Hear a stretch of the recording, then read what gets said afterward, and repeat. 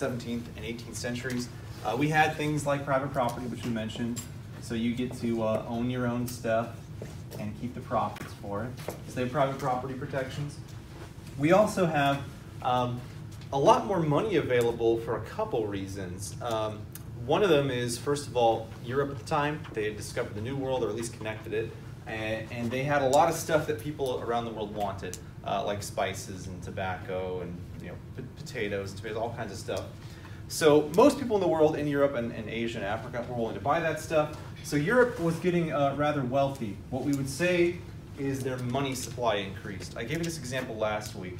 Uh, if you guys all have $10 total, that's all you have, the odds you're going to go at lunch, if all you have is $10 and just blow it all on one meal at Jack the Box, probably pretty low because you guys don't have a lot of money. But if you had $1,000, what are the odds that some of you would go uh, spend $10 on lunch at In-N-Out or whatever?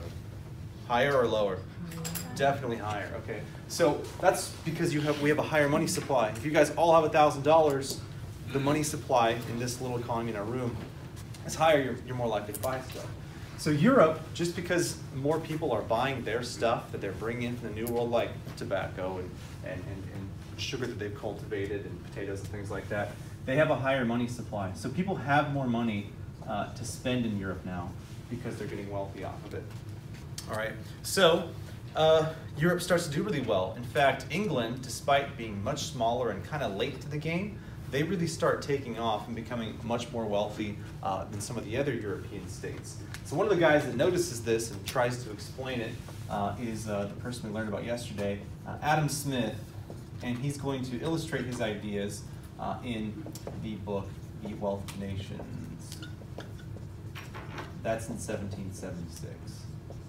So what is it that this guy uh, thinks is the reason why England in particular uh, is doing so well by 1776? Well, first of all, these guys in England uh, and other parts of Europe, mostly uh, in England and Scotland, uh, they begin to trust individuals to run their own lives. Trusted. Right? That's why you have natural rights, the Enlightenment, all that. We don't trust people uh, in a higher class just because they're born there. We trust individual people to make their own decisions. So, like, if they want to go out and uh, try to sell you something and they fail, oh, well, they failed. If they succeed, well, well great, they succeed. They trusted you uh, to kind of control your own life and move up and down the hierarchy on your own, not, not just being fixed based on birth. So he was very uh, much a believer that individuals should be trusted with this. As such, he doesn't think that individuals should be restricted on what they do. All right. So who was uh, who was restricting what you could or couldn't do? Um, maybe in the Middle Ages or before the uh, uh, 1700s. Yeah, craft guilds, absolutely. So some limitations came from guilds, uh, and you could also say the state as they're kind of part of that. Or some states would impose tariffs, so you wouldn't buy things from other people. I need my sheet so I can give you some more regards to that. Okay, cool. So the reason why they had tariffs before was, well, we'll give an example here. Let's say you've got England and you've got uh, France. All right. Uh, not a lot of cows in England. It's uh, much colder in England, especially the further north you go. Uh, so you would, uh, if you go to England to get cheese, there's not as many options available. All right, so if there's less cheese available, what happens to the price of that cheese? Is it going to go up or down? It's going to go up, right? So let's uh, let's pretend it's 1776, and if I want to buy a whatever you buy cheese in, a cheese wheel, I don't know, uh, back then, let's say a cheese wheel is um, ten dollars. Okay. Um, France, though, way more room for cows. All right, they're a, a, bit warmer, they have more pasture, so there's way more cows, which means they have way more cheese, which means the price of cheese is going to be lower. lower. Nice, cool. Cheese. Five bucks. All right. So if I'm a poor peasant in England and I don't make very much money, am I going to buy English cheese or French cheese? French. Duh, because it's cheaper. I get twice as much, the same amount of money. Maybe even tastes better too, because these guys have more uh, and they've used it more and they've, they've tried different things. All right, so I want to buy that cheese for cheap. But um, before Adam Smith, the government in England didn't want you to buy anything from France? Why wouldn't they want you to buy anything from France? Yeah, they believed that there was uh uh only a certain amount of money in the world. So if I'm spending money and giving it to another country, what happens to my country's wealth? It goes down, right. So they were big believers in that whole uh, mercantilism idea, which believed in fixed wealth. Like there's only so much money that exists in the world, all right? But he's going to develop a theory that shows that that's not actually true. All right, so back in the day, England would say, well, we don't want you to buy French cheese. So what we're going to do is we're going to put a tariff on it, all right? So we're going to put a tariff, meaning all cheese coming in from France now costs 10 more dollars. So if I'm a, a peasant over here in uh, England and I go to buy French cheese, it goes from five dollars to fifteen dollars. Now I can't buy it. I've got to buy my really expensive British cheese, right? Because they they've made the price of French cheese so much higher. All right. Who suffers from that uh, tariff? Just the peasants? You're totally right. The peasants do, right? Because instead of being able to buy twice as much cheese, they, they can only buy the ten dollar cheese or the really expensive French cheese. So the peasants definitely suffer because they can buy less. When? Who else suffers? Why does France suffer? They don't get any money. Yeah, they're not selling stuff now, right? So now their cheese sellers are less happy because now they sell less cheese as well. All right, so it's kind of like everybody loses. All right, I I can understand the fear because uh, England's like, well, we're just losing money to France. Why the hell do we want to do that? But here, let me ask you this: Do you think maybe that there's something that England has that they could sell to France that France might not have or only has a little bit of? Probably, all right, and they do. Uh, we can pick a random one. Let's just say lumber uh, or coal or iron or whatever. France has much less of those things than England does. But so let's say coal, all right, because coal you can use to burn for a furnace, and later on they use it for machinery and stuff like that. So let's say, and this is true, there's way more coal in England than there is in France. It's going to be cheaper, right? And if you're in France, you need the coal or lumber, whatever it is, uh, to heat your home and later run your machines and all that stuff. All right, so coal here per pound is like, I don't know, 10 bucks. But in France, there's not much of it. So coal over here is 20 bucks. What Adam Smith's going to point out is, okay, yeah, France might have better cheese. And so all the cheesemakers here in England, ah, they're going to have a hard time. All right, but is that the only thing that they can do in the entire world to make money is to make cheese? What else could they do maybe? They could maybe mine coal, exactly, right? So what Adam Smith suggested was, and we'll talk more about this next week, we should get rid of these tariff things because it makes it too expensive for people. It makes the peasants unhappy because they got to pay twice as much for cheese, and it makes the uh, sellers of cheese in France unhappy because they can sell less. What we should do instead is say, no, no, no, we'll get rid of this tariff thing. All right, that means you can sell the cheap cheese to France, so the peasants are happy because they get cheap cheese. The uh, sellers of uh, cheese in France are happy because they get more business. Who's unhappy though? Who in England would be unhappy about these uh, this cheap cheese coming over? The cheesemakers over here, uh, Britain, they'd be sad. But guess what?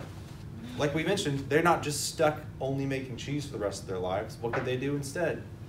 Mine coal or, or something else that the French would want to buy, right? So yeah, they'd be temporarily unhappy, but they shift over here to uh, mining coal, then they'll be nice and happy because France is definitely going to be buying plenty of that. All right? So that's what Smith suggests. He says tariffs actually make your life worse because you can buy less things. What you should do instead is just accept the fact that certain countries can make things better than you can.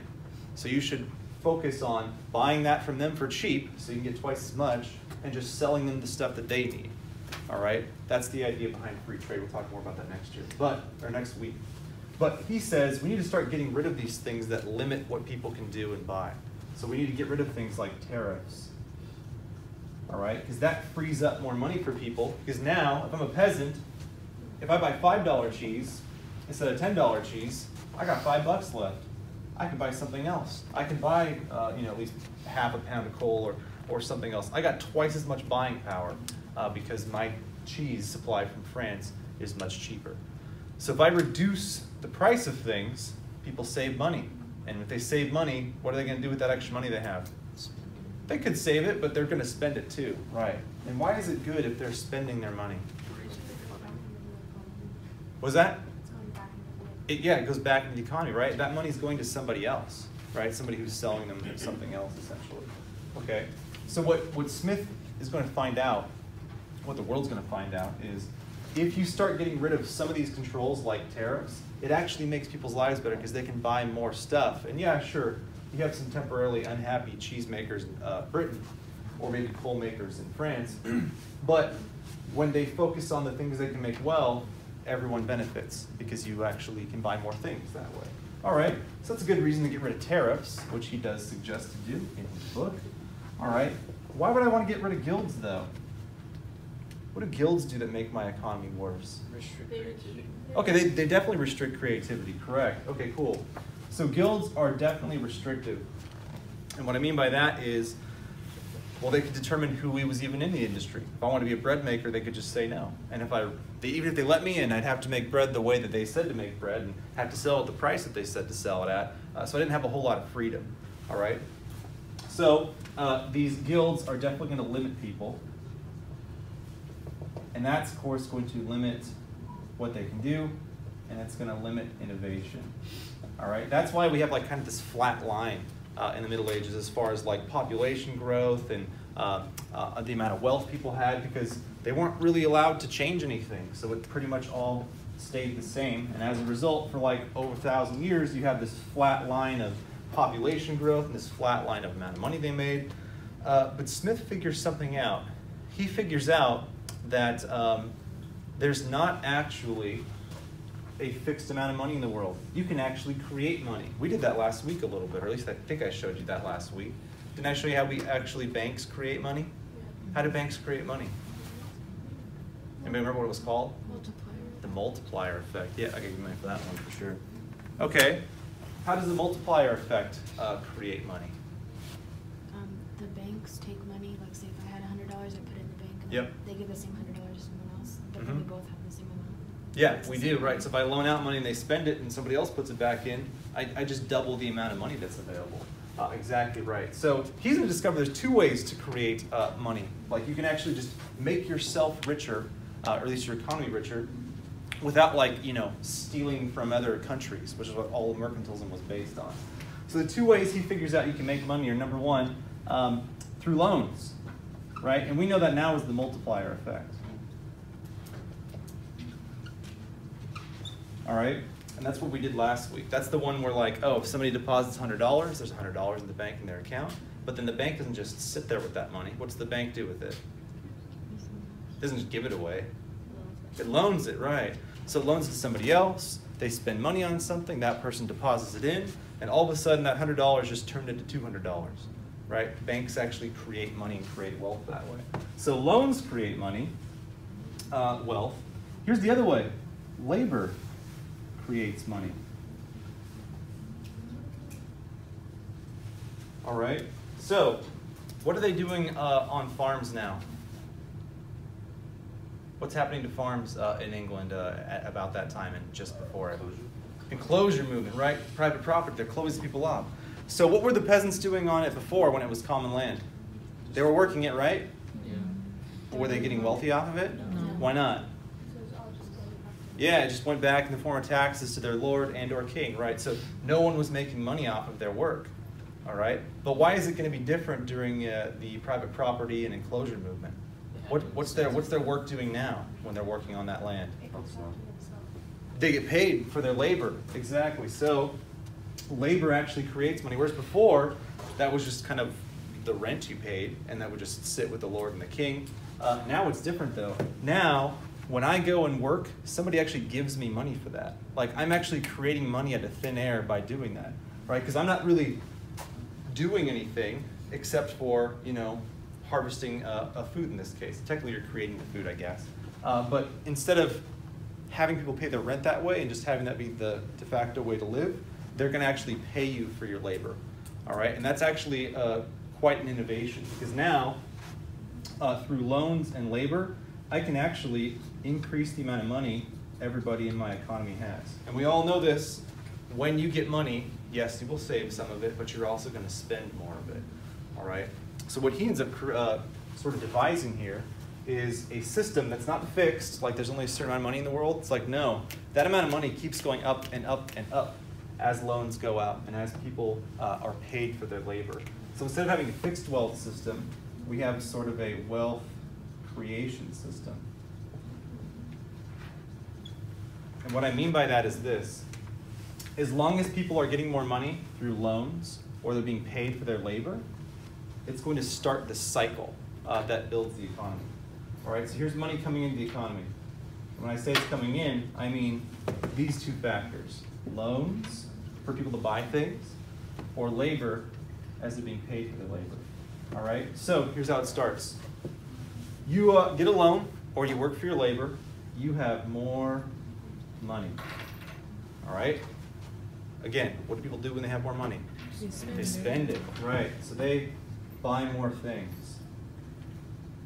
That's cool. But uh, if I'm a store and I'm selling you, I don't know, or let's just use In-N-Out because I keep using that example and it's new over there anyway. Uh, In-N-Out, if I keep getting more and more customers, what's In-N-Out going to have to do? Hire more. Okay, hire more employees. Yeah, they're gonna need to make more uh, burgers or fries, whatever the hell they're making, right? They're gonna need to make more. So if you keep buying more from In-N-Out or wherever you're buying it for, they need to make more. They could raise the price, but they also need to make more because they don't have enough to go around. So to do that, they're going to hire more people or open up more stores or expand it or whatever, right? So they're going to uh, um, uh, make more. And as you already mentioned, if I'm going to make more, I need to hire more people, right? So they're going to hire more. Wait a second though. If I hire more people who didn't have jobs before, and now all of a sudden they have jobs, are they going to have more money? Yes, they are. What are they going to do with that money? They're going to spend it, right? So this is that wealth creation uh, cycle that sort of grows itself. As you keep inserting money in, by giving out loans, people can buy cars and houses, land, things like that, or uh, paying people for their labor and they can work and get money. They're going to buy more stuff, and if people are buying more stuff, companies are they're going to want they're going to want to make more money, obviously. So they're going to make more. To do that, they have to hire more people. Oh, well, to hire more people, uh, that means they get the money. Now they have more, and they buy more. So it starts that cycle going and going and going. Uh, and as the cycle goes and goes and goes, more people get money, more people get the stuff they need, and you'll find that over time, things get cheaper. Because the more you make, uh, the cheaper the prices get because more of it's available. All right. So that's what Adam Smith uh, ends up doing. And I realize that was kind of a all over the place as far as how I was explaining it. But he's going to argue that we should get rid of things that make things expensive, like tariffs, because you can buy less, and get rid of guilds that limit what you can do and what prices you can set. Because what you want to do is free people up to do what they uh, uh, what they want to be able to do. Uh, and you should allow them to use loans and use their own labor uh, to get money and buy more things. That actually starts this wealth creation cycle instead of slowing it down. All right? So, how would we summarize all of this? Because that was a lot. Let's start with, before I show you the slide, what is it called when people in an economy have more money? What, what, what's raised? What goes up? So if you all have more money, I would say you have a higher what? Standard. Okay, you would definitely have a higher standard of living. But if there's just more money in the economy, money supply, higher money supply, cool. So, uh, who said that? Was it you? Yes, that was. I gave you market bucks for that. Higher money supply. That's good. Um, what's going to incentivize people to want to uh, make money? They work for themselves, cool. And because of this concept, they're able to make their own money when they make stuff. So, what's the concept that uh, I have my own things, so if I sell it, I get the money? It's an incentive, yeah. But, like, why are they getting it in England and nowhere else at the time? What's there that means if I make something, I get the money for it? Private property, right. Okay, I have those two things in England. So then Adam Smith starts to think about why uh, they're making so much money. So his theory is we should get rid of something to make everything cheaper for people. What are they supposed to get rid of? Tariffs. Yeah, they want to get rid of tariffs. Okay. Cool. If prices are lower, people are more or less likely to buy it. They're more likely to buy it, absolutely. So he's like, nah, get rid of tariffs. It's better that that cheese is cheaper so you can buy it all. And it doesn't mean you're going to run out of money because even if you uh, buy all your cheese from France, what could you perhaps sell to France that they need? Yeah, coal or whatever it is your country has, exactly. So you should be like not worried about, you know, one industry, your cheese industry failing. You should be more concerned about making sure you can buy cheap things from them and they can buy cheap things from you. Okay, cool. Um, what about, why were they so concerned with setting up tariffs before? Why was it that they wanted uh, you not to buy anything from anybody else? You were convinced there was only a certain. Exactly. They believe in the fixed wealth idea. That there's only a certain amount of money uh, in the world. But with these two developments happening in Europe, they find out that's not true. You can actually create your own money. You don't need to get more stuff. How can you create money? There's two ways to do it. Give me one of them if you can. Okay, cool. Loans, right? That multiplier effect. Loans, so the multiplier effect. That actually creates money out of thin air. Okay, what's another way you can create money? Yeah, being paid for your labor. Exactly, your time, your effort, your knowledge, your expertise. That you can be paid for. Okay, cool. And both of these allow you to uh, create wealth. All right. How does that creating creating wealth system work then? So it starts with these two providing money to the economy. So people, individuals, have more money. What's my next step? They spend more. Cool. Or they buy more. We'll put they buy more. All right. If a, if, if a company is experiencing people buying a lot more stuff, what are they going to have to do? They're going to have to make more. All right. And to make more, they're going to have to do what? Hire more people. Oh, and if I hire more people who didn't have jobs before, they have what? More money, right? And that just keeps that cycle going. So he sort of lays out the groundwork uh, and it kind of explains why England's becoming more successful than others. Because as they develop private property and their money supply increase, and they begin to slowly get rid of tariffs uh, and get rid of guilds that limit what you can and can't do and the prices you can set, it allows these two factors to flourish and allows people to become wealthy uh, on their own. All right? Does that slightly makes sense? I know it's super complicated because it totally is. All right? Okay, cool. So that'll be the first slide or two. The purpose of guilds before was uh, because people were worried that people were too stupid uh, to run their own businesses, right? Because remember, back then they didn't trust everyone to make their own decision.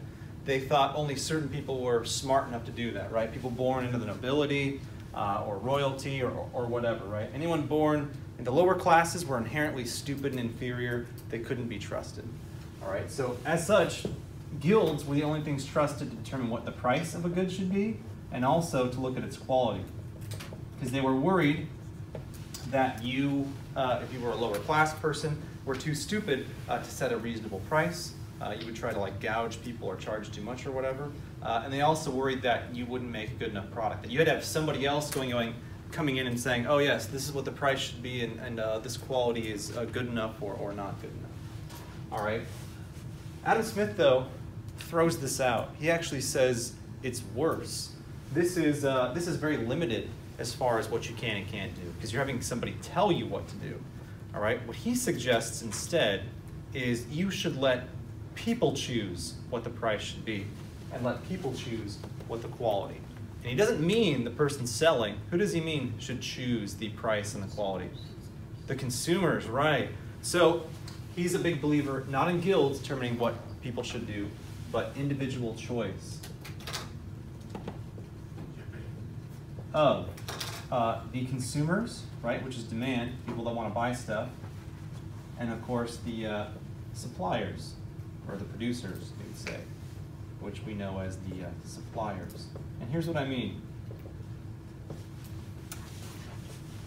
How would I know if a price is too high? Let's say I go out and I start a business and I want to sell um, shirts, I don't know, or jackets. How, how do I know my price is too high? Yeah, if nobody's buying it, right? It's very easy to, to figure that out. If I go out and try and sell jackets or shirts or whatever for $500, unless I'm some insanely well known brand already and I'm known for that kind of high quality, high price stuff, I have no chance in hell of selling those uh, shirts, at least enough to survive as a business, right? So if my price is too high, I'm going to know because if, if I set my price too high, I'm to know because no one's going to buy it, right? How would I know if my price is too low though?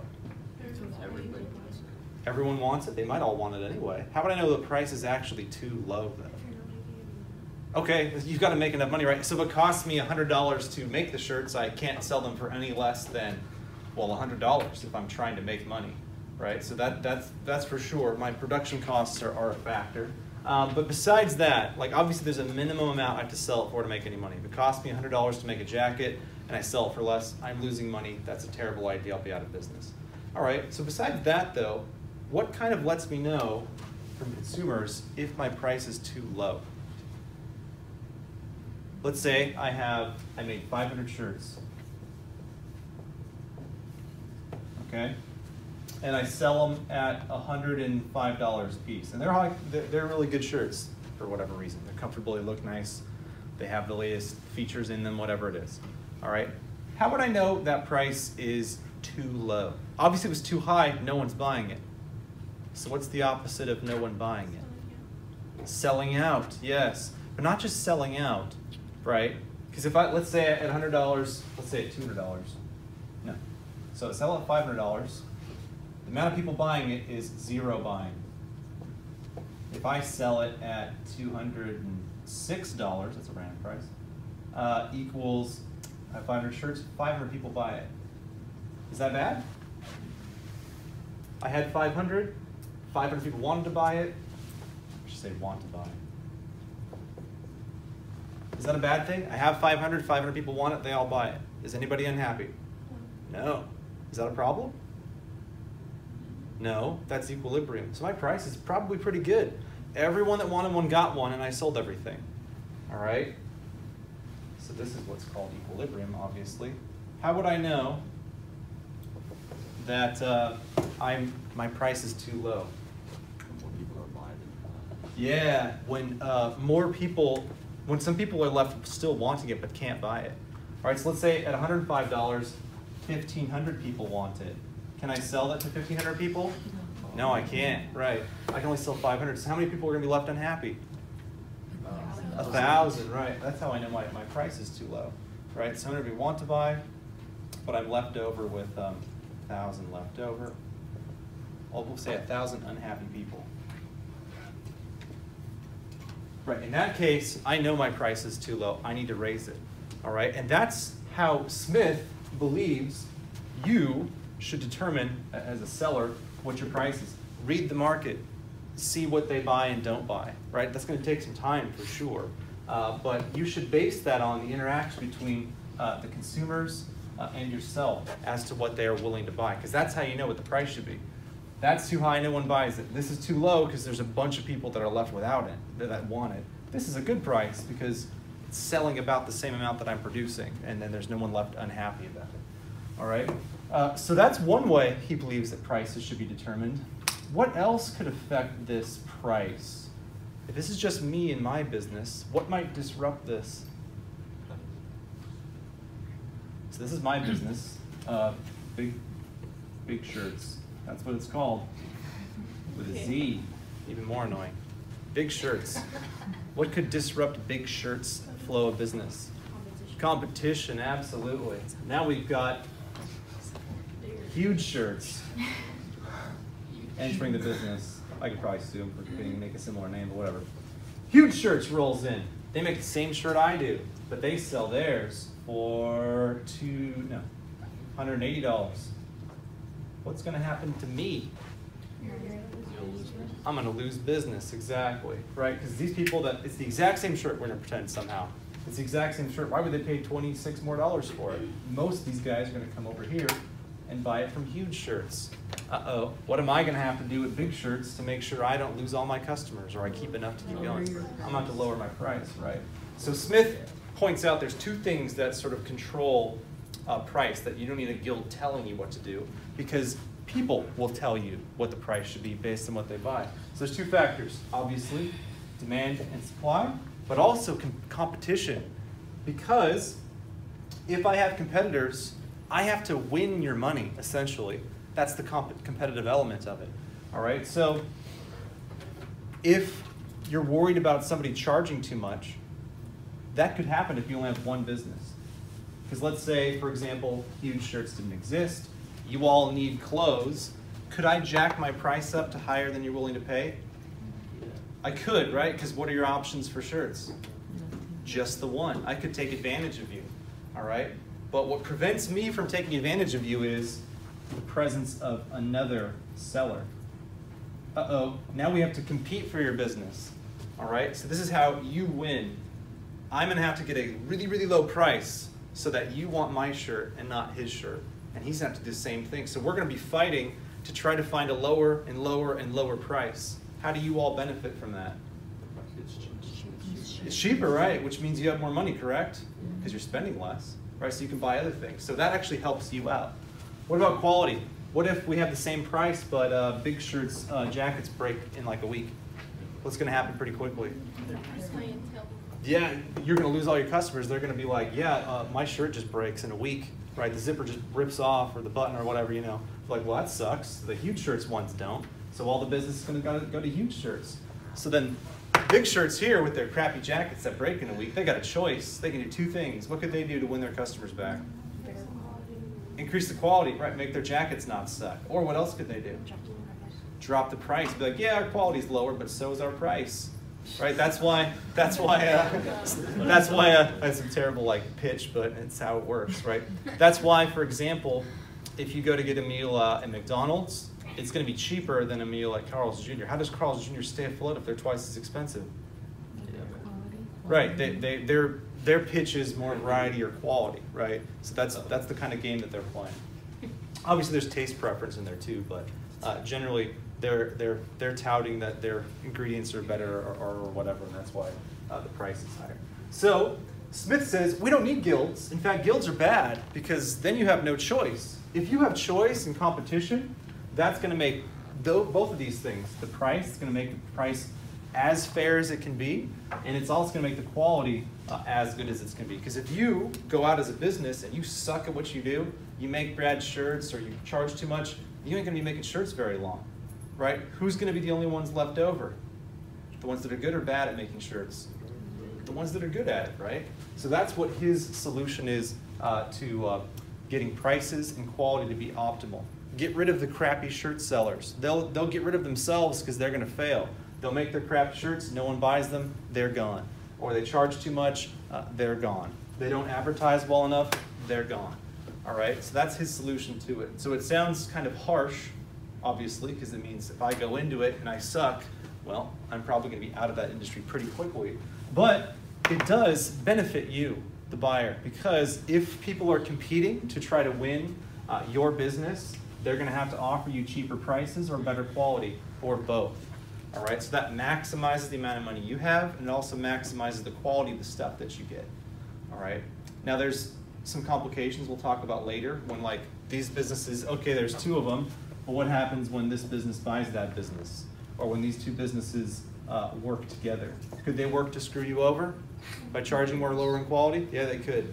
Right, so that's a problem we'll talk about down the road, but initially, this is a wonderful idea that's automatically going to make everything cheaper for you so you can buy more, and it's also going to make uh, the quality better. And one element which I kind of didn't mention um, is like variety. Obviously, that can win your business by coming up with new ways, new jackets, new colors, new styles, right? That's the innovation uh, element they're adding to it. So if you allow people to do whatever they want to try to win your business, they're going to try to come up with new ways of bringing you in, making better jackets, better color jackets, better design jackets, finding a way to make the jacket cheaper so they can lower the price. uh, that's going to allow people the flexibility uh, to use innovation. Like I said, to either make the jacket cheaper or better in some way. All right, and that's how we all benefit um, in the long term from that. So essentially, all this comes down to he thinks competition will make sure you get what you need with good quality and better price, and that guilds actually make things worse. Because if you don't have people competing, they're not trying to lower the price because they don't care. You're just going to go buy it from them no matter what. They're not trying to make a, a new version or a better version because you're just going to buy their version no matter what because that's all there is. All right, so competition theoretically fixes or makes those issues a lot better. Does that make sense? All right, sweet. Uh, let's. Last element I want to talk about is um, how they would choose people. So before, uh, guilds would choose people who could uh, join a particular uh, industry. But the uh, way Adam Smith believed you should choose people is well, first of all, let anyone apply or try, but whether they succeed or fail should be what determines uh, who's in a particular field. So what I mean by that is that whole competition element. If I really suck at sales, I'm going to be a bad salesman. Do you think I'm going to be able to keep doing that career? No, I'm going to get fired. I won't make money. Whatever. I'm going to do something else. Right? Find something else I'm good at. So rather than have somebody else decide who does or doesn't do something, you should let people try things. And what you'll find, and this is what's happened, is the people you want doing whatever job they're doing, whether it's selling something or teaching or uh, uh, creating cars or, or, or, or building skyscrapers, whatever. You want people that are number one, motivated, that enjoy doing it, but also you want people that are, are capable, good at what they do, intelligent at, at what they do. Because not everybody's equally uh, good at everything or equally motivated. So here's what I mean by that. If I wanted to be an accountant, I myself would be incredibly bored. All right. So would I be a uh, really good, uh, hard, dedicated worker? No. I would just basically do the minimum amount I could to not get fired. Essentially, I'd go in and punch my numbers in, hate my day, uh, do everything I could to do as little as possible at my work. All right. But I chose teaching. I like teaching. Um, I try to be as good a teacher as I can. And so what that means is when I go home each day, maybe not every day, but most days, do you think that because I like teaching, I think about how I could have done something better? I definitely do. Do you think I would do that if I was an accountant? Hell no, because I don't give a crap about being an accountant. I just want to get out of there. All right. So what you'll find is when people are in an industry they naturally like, like it's one of their intrinsic interest, interests, you don't have to like motivate them. Uh, they think about how to do things better on their own, and they try things. And so what they do is they go to work, they try something, they go, that went really well, I should do that, improve that, or oh, that, that really sucked, I need to change that. Uh, that allows people to think about it more uh, and basically try harder. So they'll try different things to make outcomes better. And that, that's a good thing. All right, so what Smith believed is I don't need guilds telling me who should do something. I should let the market choose who does something. Meaning, if I go out and I suck at my job, or I don't like my job, or I'm not intelligent enough for my job, or, or whatever, uh, I'm going to fail. Right? So that system sort of lets people who are good and motivated uh, float to the top of that industry, and they'll become the uh, best people who make the most money or do the best job or whatever. And if I suck or I'm not motivated at a job, I'm going to fall down and out of that uh, uh, industry's hierarchy, right? Because again, if I'm a bad salesman or accountant, uh, I'm not going to make my company any better. They might lose money. They'll fire me. I won't make money if I try my own business version of it. It'll sort of sort itself out. So he believed we did not need guilds uh, to determine who was in an industry because the market does that. If you suck at it or you don't enjoy it, you're not going to do well. You'll find your way out of the industry. If you are really motivated and enjoy it or you're good at it, you will float up and you will succeed uh, where other people's failed, uh, and that'll keep you in that industry. So he says, let people choose and find out. Go for what they're good at or what they enjoy, uh, and they'll, it'll sort itself out based on how well you do or don't do. Okay, and here's the one other big concern. So this was, of course, how to choose employees or people in the industry. Uh, don't let guilds do it. Let the market do it.